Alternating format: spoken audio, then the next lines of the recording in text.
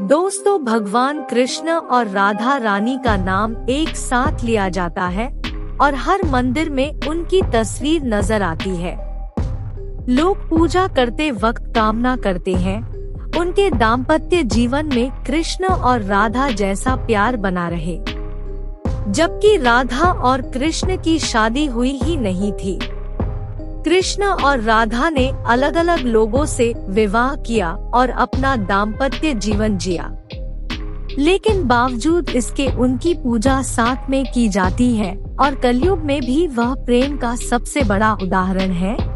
लेकिन क्या आप जानते हैं कि आखिर राधा कृष्ण ने शादी क्यों नहीं की थी? और राधा श्री कृष्ण की मामी कैसे बनी अगर नहीं तो चलिए जानते हैं इस वीडियो में। धार्मिक पुराणों के अनुसार जब भगवान कृष्ण वृंदावन छोड़कर जा रहे थे, तब उन्हें राधा जी से वादा किया था, वह लौट कर आएँगे। लेकिन उनकी मुलाकात रुक्मणी से हो गई, जो कि उन्हें मन ही मन अपना पति मान चुकी थी। जब रुक्मणी का विवाह किसी और से हो रहा था तो कृष्ण ने वहाँ जाकर स्वर्ण रुक्मणी से विवाह कर लिया। पौराणिक कथा के अनुसार राधा जी भगवान कृष्ण से उम्र में 11 महीने बड़ी थी और दोनों का एक दूसरे के प्रति आध्यात्मिक लगाव था। इसलिए उन्होंने कभी शादी नहीं की। भगवान कृष्ण और राधा ने एक दूसरे से शादी न करने का फैसला इसलिए किया था क्योंकि उनका ऐसा मानना था कि प्रेम और विवाह एक दूसरे से बिल्कुल अलग है। यह साबित करने के लिए कि प्रेम शरीर से नहीं बल्कि भक्ति और शुद्धता के साथ होता है। दोनों ने एक दूसरे से शादी न करके प्रेम की परम भक्ति को पूरे विश्व के सामने रखा।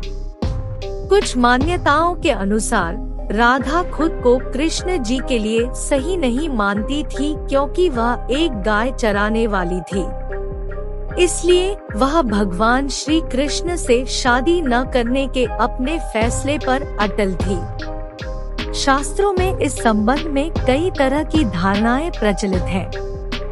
कोई कहता है कि राधा कोई और नहीं श्री कृष्ण का ही एक रूप थी विद्वान कहते हैं कि स्कंद पुराण में श्री कृष्ण को आत्माराम कहा गया है अर्थात जो अपनी आत्मा में ही रमन करते हुए आनंदित रहता है, उसे किसी अन्य की आवश्यकता नहीं है आनंद के लिए। उनकी आत्मा तो राधा ही है।